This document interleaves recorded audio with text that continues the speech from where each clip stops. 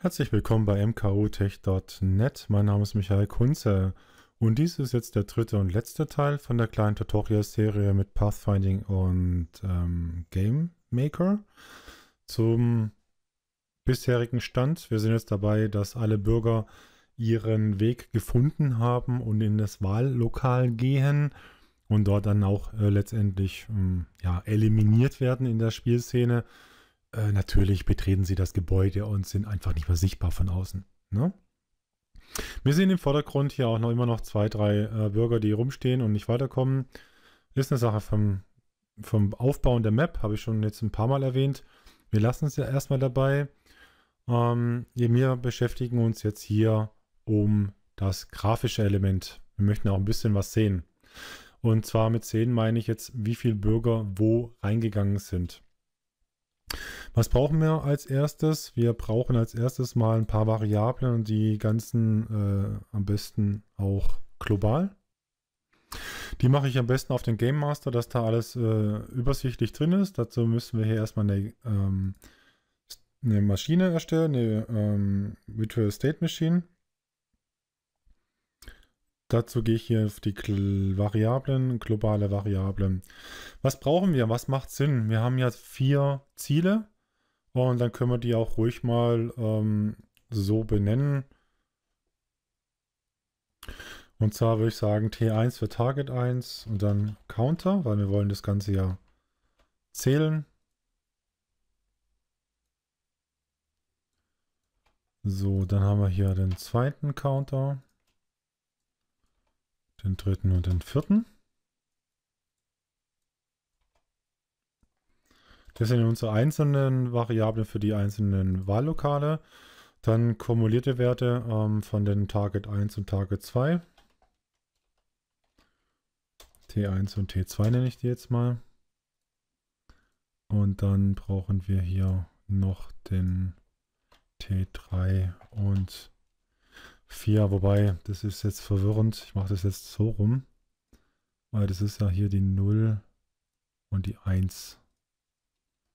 T0 und T1. Gut. Dann brauchen wir noch ein Global Result, um das tatsächlich zusammenzuführen. So, was bedeutet das im Umkehrschluss? Wir sind jetzt hier in dem Target. Und wenn hier das Objekt gelöscht wird, können wir ruhig hier den Integer nach oben zählen lassen. Das heißt, wir brauchen hier eine Action int add. int add Variable global. Welches Target sind wir jetzt? Target 0. Also T1 Counter.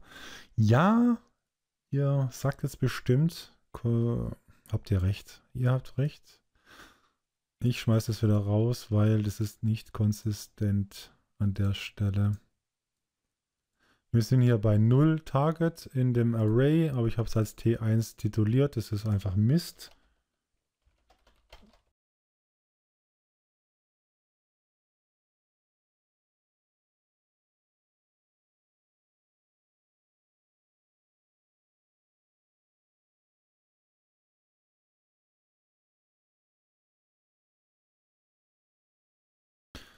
So, jetzt sind wir richtig. Und zwar int add auf globale Variable t0 Counter add 1 und das Ganze auch auf den anderen.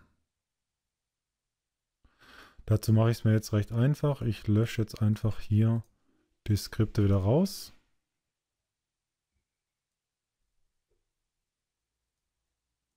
Kopiere hier den State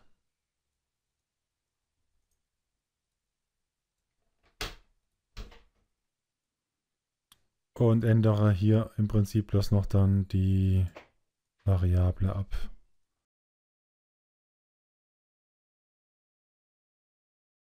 So. Jetzt haben wir im Prinzip die Information, wie viele Bürger in welches Target reingelaufen sind. Dann sollten wir jetzt an der Stelle das bei dem Game Master auch zusammenzählen lassen. Jetzt muss ich ganz kurz schauen. Brauchen wir noch eine Variable? Nee, wir haben alles, was wir brauchen. Genau, und zwar machen wir jetzt hier einen int-Operator. dass wir zwei Werte zusammenführen können. Dann wählen wir hier unsere Counter 0 als ersten Wert aus, dann den Counter 1 als zweiten Wert. Das Ganze adden wir in den Global Result T0 und 1.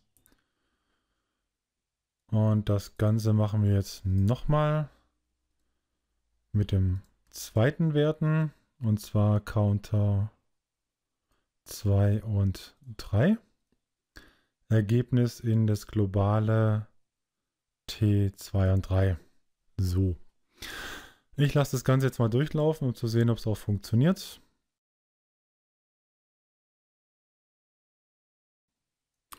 Wir können ja mal hier auf ein Target gehen. Eins, da haben wir hier schon Ergebnisse. Hier haben wir genau den Value 3, der zählt hoch. Hier oben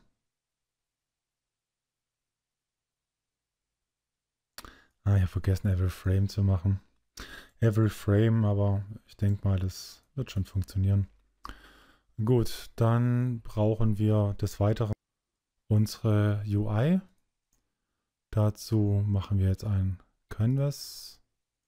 Dann brauchen wir hier ein Panel.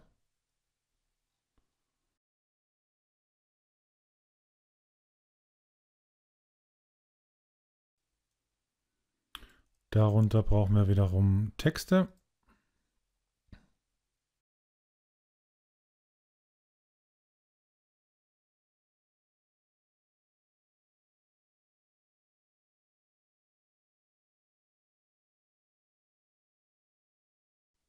So, das Ganze noch richtig schön hinschieben.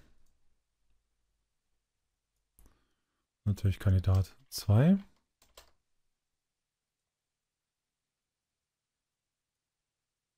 Ich mache das jetzt hier on the fly. Natürlich äh, kann man das auch mit Abständen ein bisschen besser machen. So.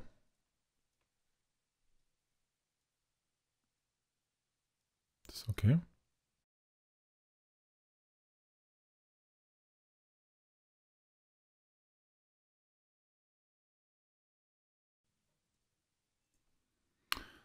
Darunter wiederum auch nochmal ein Text.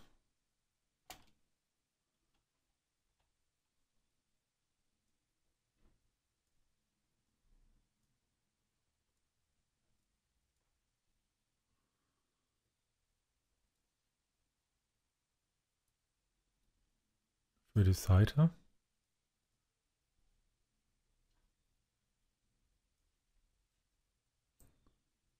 So, dass wir nachher auch die Zahlen haben. Und ganz oben können wir auch nochmal einen Text reinschmeißen. Na.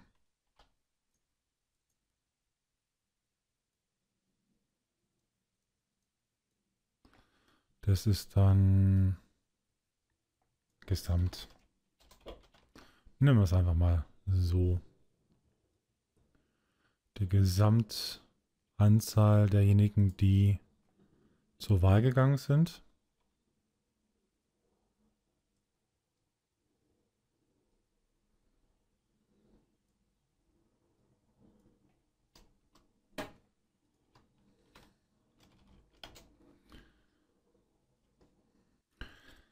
Genau, als nächstes fangen wir mal am besten hier oben an. Brauchen wir hier auch wieder eine neue FSM.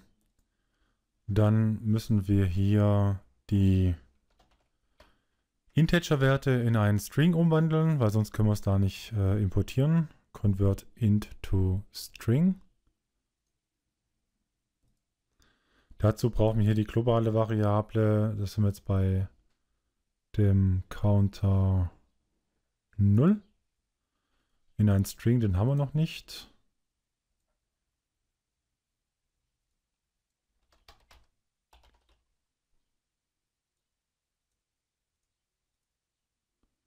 Format brauchen wir keins, jeden Frame auf jeden Fall. Und dann wollen wir natürlich den Text updaten. Dazu schiebt man das wieder rüber. Set Property. Der Text soll abgedatet werden. Von der Variable Ergebnis, every frame. So, das Ganze kopieren wir jetzt der Einfachkeit halber.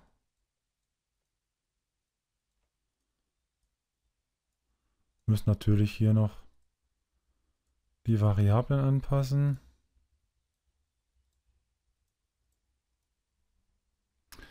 Das ist jetzt 2, ähm, genau. Und 3. Kleiner Test am Rande. Ähm, machen wir kurz den Speed wieder ein bisschen schneller hier. Ähm, Speed machen wir 50.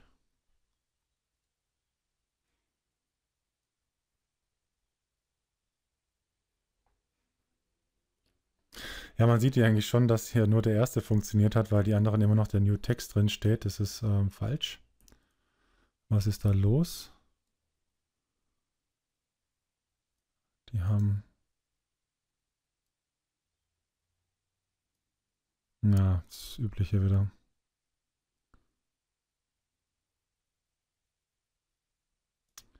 Eieiei, ist so klein.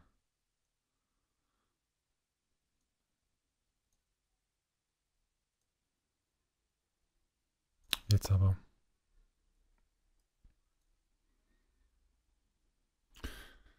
Ja, der erste Indikator ist hier, dass New Text auf 0 umgesprungen ist. Das ist richtig, weil der Value ist ja 0. Und jetzt müssten wir hier auch, ja, das sieht auch schon mal super aus. Genau.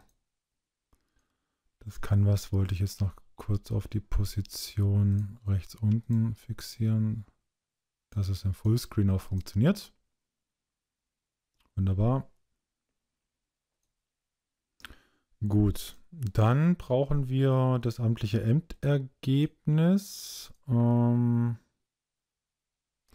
mit dem Text hier. Da müssen wir dann auch wieder konvertieren. Convert int to string.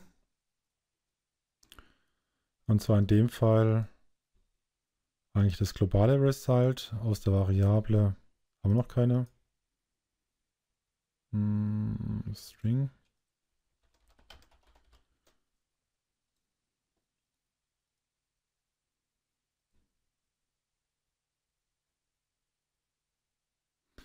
Wird es überhaupt schon zusammengezählt? Hm, schauen wir gleich mal.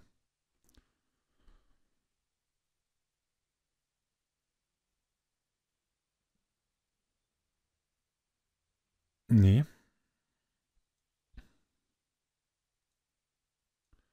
Wird nicht.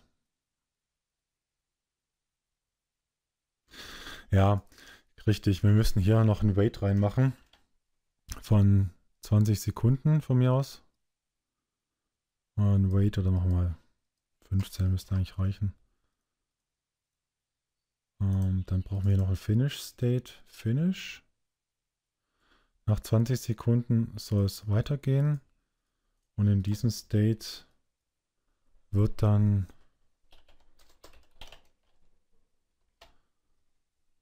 die anderen zwei Ergebnisse zusammen addiert. Und zwar aus den Zwischenergebnissen 0 und 1 und 1 und 2, ne 2 und 3, in das in die Variable Global Result, every frame. Eigentlich nicht, weil brauchen wir nicht. so, gucken wir mal ganz kurz, auch ohne Uhr. Wir sehen es ja gleich, ob der State hier unten links umspringt oder nicht nach äh, 15 Sekunden.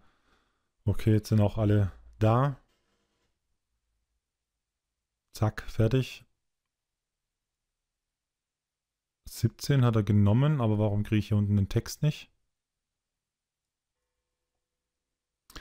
Ja, warum ist der Text nicht da? Ganz einfach, weil wir konvertieren, wir setzen es aber noch nicht. Ganz einfacher Fehler an der Stelle. Das ist aber nicht dramatisch.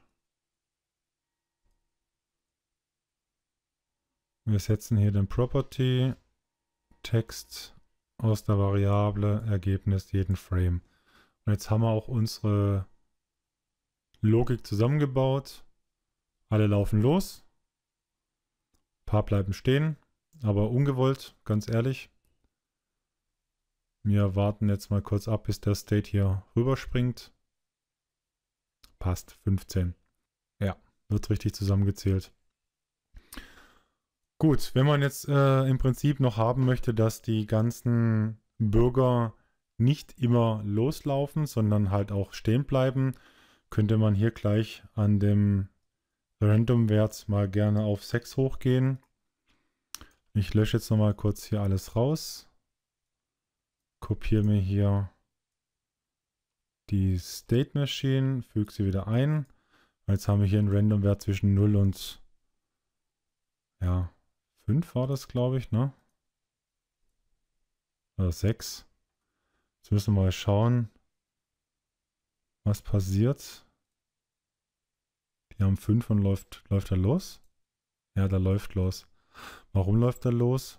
Weil hier oben 00 drin steht. Da müsste man jetzt konsequenterweise richtig ähm, noch einen Switch reinbauen. Und zwar Switch int Switch. Die Variable getID.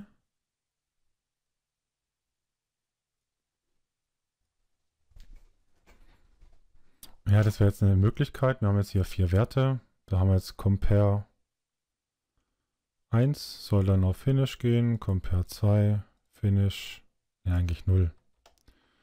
0, 1 auf 2 und 3.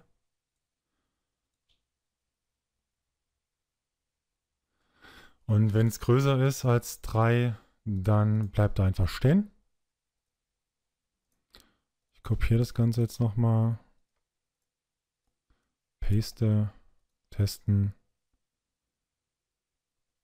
Alle laufen los, das kann nicht sein. Random ID ist 5.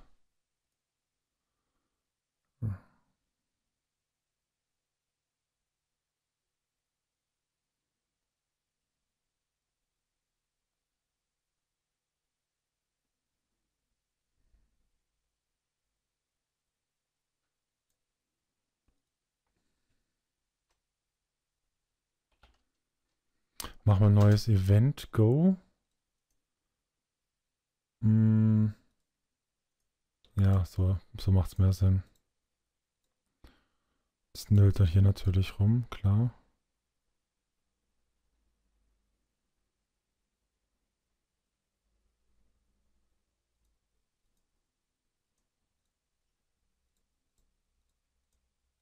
So, jetzt müsste aber gut sein. Ja, nee, das kann nicht sein.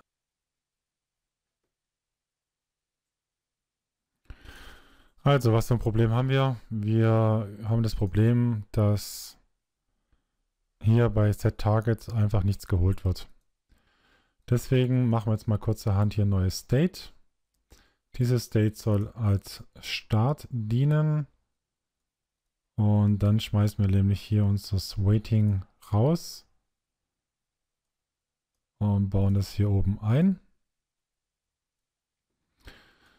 0,2 haben wir mal als einen Anfangswert definiert gehabt. Schauen wir mal, ob das reicht. Sieht gut aus. Jetzt funktioniert es nämlich auch. Also gut, wieder kopieren. Reinpasten, aktivieren und Feuer frei. Wo sind unsere Männchen?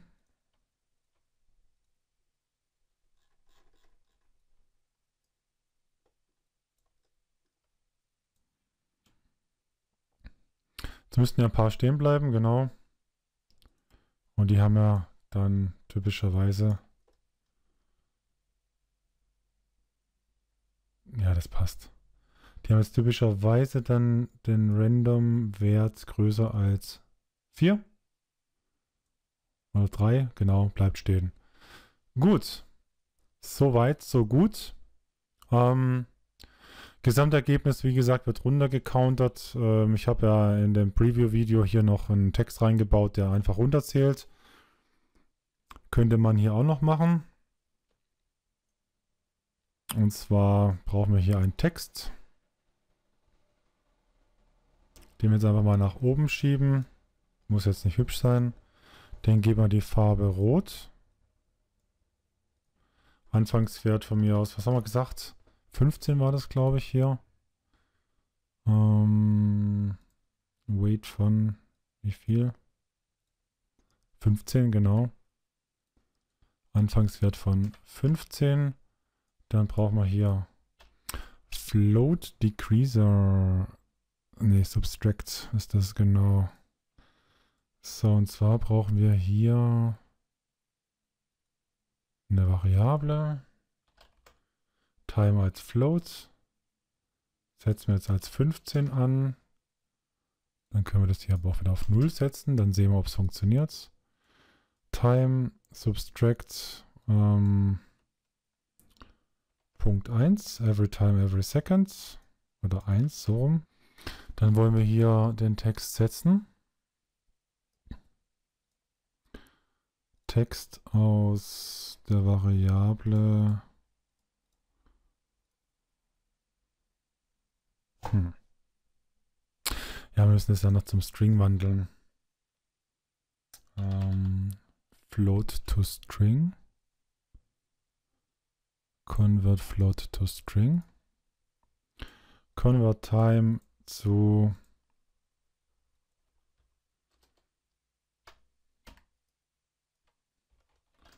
mein Text als String. So, Format machen wir zwei Dezimal nach dem Komma. Und das müssen wir ganz nach unten setzen. So, dann haben wir hier den Text, der aus myText every frame gesetzt wird. Jetzt müsste der von 15 rückwärts zählen. Passt, genau. Das ist jetzt unser Timer, der im Prinzip anzeigt, wann jetzt die komplette, ja, das Endergebnis angezeigt wird, wie viele Leute zur Wahl gegangen sind. Manche bleiben immer noch hängen. Kennen wir das Thema? 7, 6, 7. Jetzt läuft er hier weiter. Ist unschön. Dazu könnten wir jetzt hier einen zweiten State machen. Hier Finish.